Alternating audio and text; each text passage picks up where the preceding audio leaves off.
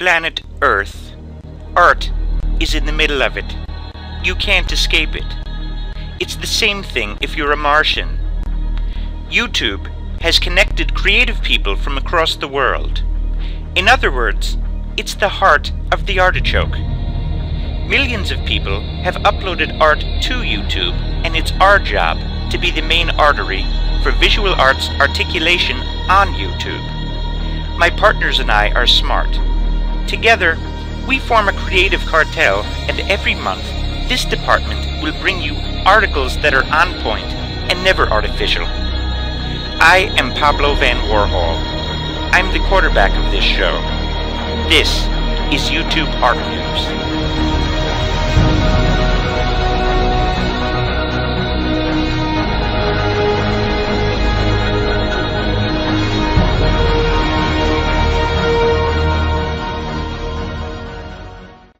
Welcome, everybody, to the first episode of YouTube Art News. We call it YouTube Art News because we cover art on YouTube. Very clever, don't you think? Yeah, me too. If you're an artist on YouTube and you want to tell us something that's newsworthy, please post it to facebook.com slash YouTube Art News. Let's start off today's show with art subscriber rankings. You can click on the channel names to visit the channels.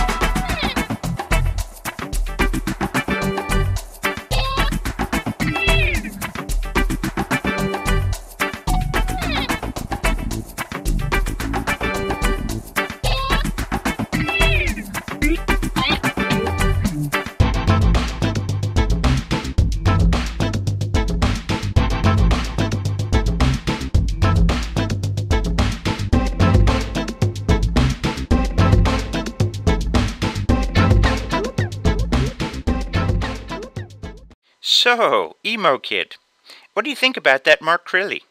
He's something else, isn't he? I'm depressed. Yeah, me too.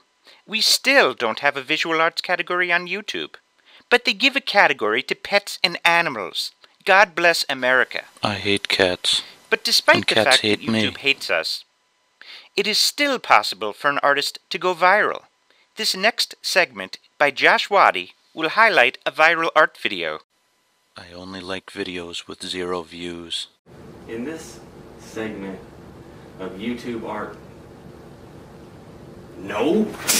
What is up, ladies and gentlemen of YouTube? This is Josh Waddey16, aka Any Joshua Art, coming at you with my segment here on the YouTube Art News, simply titled Viral Art Videos. These are the videos that you guys can't resist but to continuously click on and watch over and over and over and over again, therefore resulting in a viral art video. So in short, these videos can get anywhere from 50,000 to 100,000 to millions upon millions of views. That, my friends, is total insanity. So the viral art video featured today is entitled Paint the Sunset with Me. It has 850,000 views. It was uploaded by Bubz Beauty. This painting is spectacular. Make sure that you go and check it out. Well guys, that's all I have for you on this segment of viral art videos from the YouTube Art News. But I will leave you with one thing. Live life to its fullest. Keep your dreams high and keep your hopes even higher. Guys, continue to upload those awesome art videos to YouTube. And maybe next time you will be featured on viral art videos in the YouTube Art News. Teleport. Zzz. Light bulbs. They're the symbol of creativity. Sheep.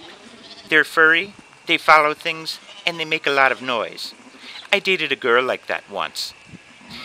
In the next segment, YouTuber Matthew Keeney will enlighten you. Get it? Will enlighten you on sheep art.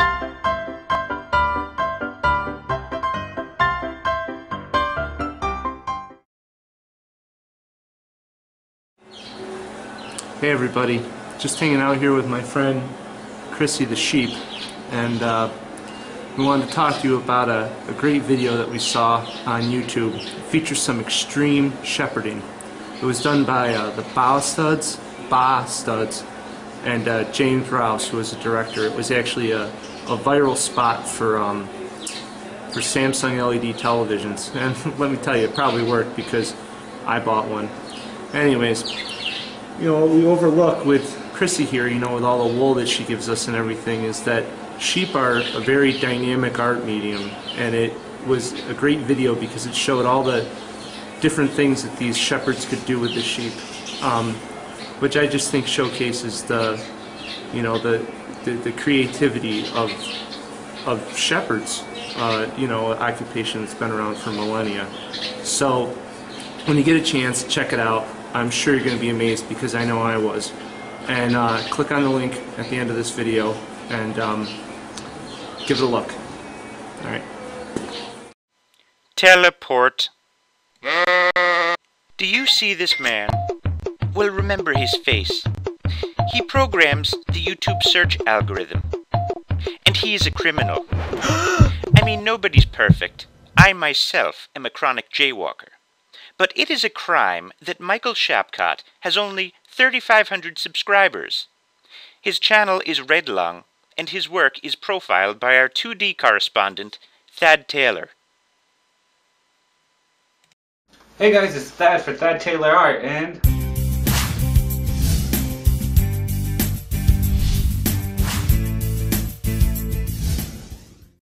today for my first feature of a 2D artist, I'm going to be featuring the talented Michael Shapcott. He's a wonderful portrait artist that uses oil and acrylic paint to create beautifully fluid paintings. He's a wonderful draftsman as well. He uses very fine detailed under sketches under all his paintings. He uses drips and splatter techniques to add more depth into his portraits and if you know anything about me you know I love drips. His videos are awesome and above all entertaining. His music selection is great so click the playlist below and go watch some of his awesome work. While you're in the mood of clicking on stuff, click here to go watch me and my time-lapse videos and tutorials. Thanks guys and see you on the next 2D artist feature. Bye. Wait, hold on. This just in. We interrupt this program for some breaking news. Breaking news. Big deal. It appears that Tyler from Tyler's Art Shack scored an interview with one of the biggest artists on YouTube, Tim Gagnon from Gagnon Studio. Let's go to them live. What's going on, everybody? My name is Tyler from Tyler's Art Shack here on YouTube, and you are watching YouTube Artist Interviews. So, for my first YouTube art news video, I was fortunate enough to meet up with Tim Gagnon from Gagnon Studio on YouTube. He was in the city doing an art expo, and I met up with him and I was lucky enough to do an interview. Check it out. How did you first start getting following? Uh, I started out with YouTube, um, YouTube and Facebook, and actually MySpace back when MySpace was popular. A long time Um, ago, right? Yeah, Yeah. yeah, yeah. It was like what two years ago. Yeah. Um, but uh, yeah, once once you get a following, you know, I had someone who had a million subscribers promote one of my videos, which kind of snowballed it even more. So, so if you can get somebody to do that, it kind of helps a lot. I'm sure it does. All right, YouTube, what do you think the best way to promote your videos would be? Uh, probably through Facebook. That's Um, you know, you get a Facebook page, or even if you don't have a Facebook page, just you know, share it with your friends. Mm-hmm. Ask them to share it, um, and then people who you don't even know will keep sharing. it. So Yeah. you know, Alright, everyone, thank you for watching my segment. If you want to see the rest of the interview, it'll be up on my channel, Tyler's Art Shack. Until next time, I'll see you all later. The next segment is called Underviewed Artist of the Month. It is put together by Yoz Creative, and Yoz chooses one artist who she thinks deserves more views.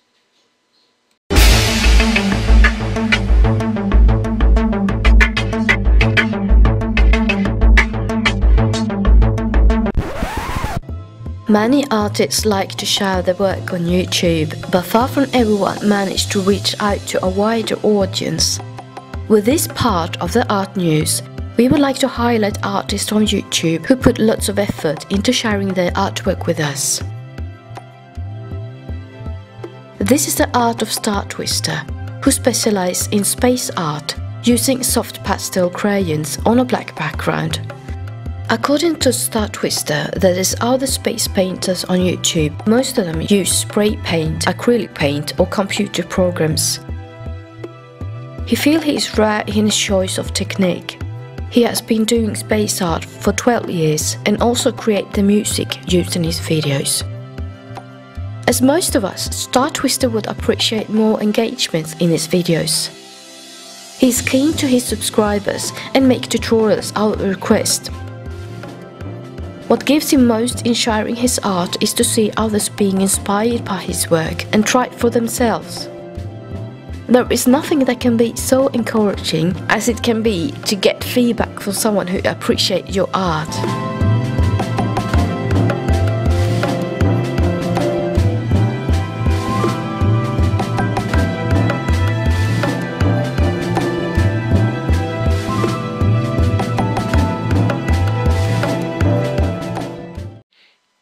We will conclude the first episode of YouTube Art News with a word from executive producer Merrill Kazanjian.